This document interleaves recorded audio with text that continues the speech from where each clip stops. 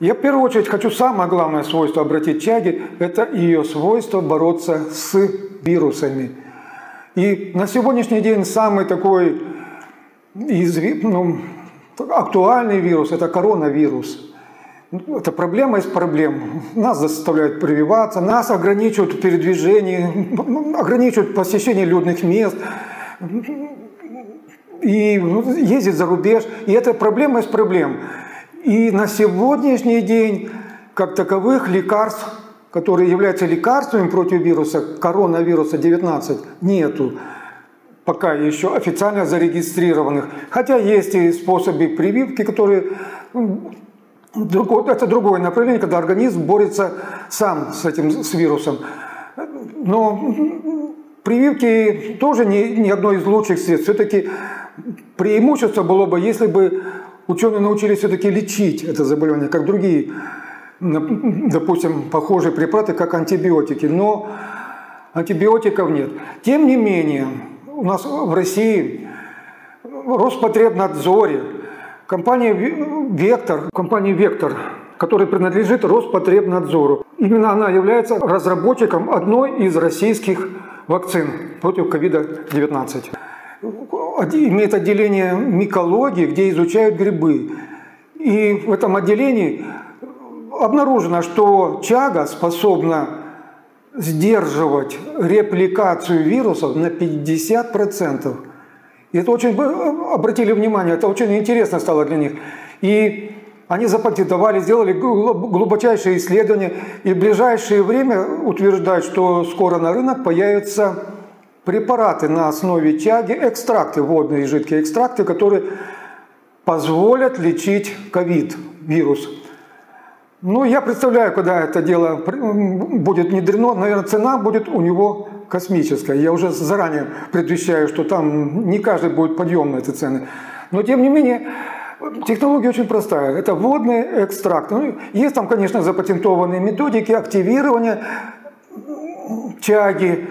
Но, но самое главное, это все-таки экстракт из чаги, который способен бороться с вирусом. И кроме того, учреждение «Вектор» доказало, что не только коронавирус, оказывается, он борется с огромным количеством вирусных заболеваний. То, что для нас становится удивительным, не, невозможно, как говорят врачи, это невозможно. Когда один препарат лечит самые разные вирусы, в том числе вирус герпеса. На сегодняшний день, как таковых, тоже особо нет препаратов, которые могли бы полноценно, с гарантией подавлять вирус герпеса. А там их, я напомню, два типа, особенно второй тип герпеса. Есть половой, есть, который, ну, мы знаем, на губах чаще всего распространяется. Так вот, второй тип герпеса тоже поддается лечению с помощью экстрактов чаги. И это еще не все.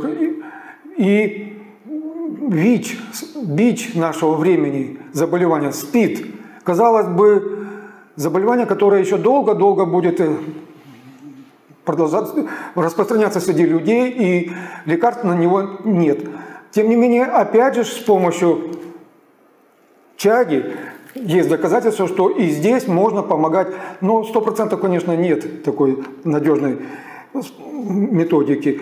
Но даже если на 50% мы сможем бороться с этим заболеванием с помощью таких безвредных препаратов, как экстракты чаги, то это великолепно считается. Доказана также эффективность и на энцефалитах. Болезнь Лайма, как еще по-другому называется. Здесь тоже связано с вирусом. Это когда вирус заходит в мозг. И лекарство в мозг, кстати, не доходит. Ни одно лекарство не доходит в мозг. Поэтому эти болезни, которые вирусные заболевания мозга, на сегодняшний день не поддаются лечению. А препараты чаги, они низкомолекулярные, они достают мозг и могут там оказать свой лечебный эффект. Но я немножечко уточню, он не в мозг доходит, а он гематоэнцефалитический барьер достает. То есть это сосуды, где преграда всяким веществам, сосудистая преграда. У нас в головном мозге особая структура сосудов. Они имеют склонность перекрывать проходу одних веществ и пропускать другие. Это как сеть, которая, как сито, пропускает, это пропустим, это не пропустим.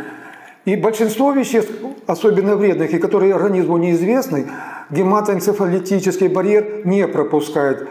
И если мы сможем убрать дырки, так называемые, условно говоря, дырки, повреждения в этом барьере, то мы сможем остановить это заболевание. Но даже и это не самое главное, а то, что мы можем лечить энцефалит. Казалось бы, на сегодняшний день практически не поддается лечению.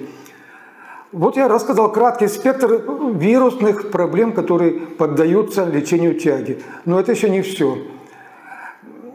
Он, тяга огромный тоже имеет спектр лечебных веществ и огромный спектр не только вирусных, но и сосудистых, и нервных показаний.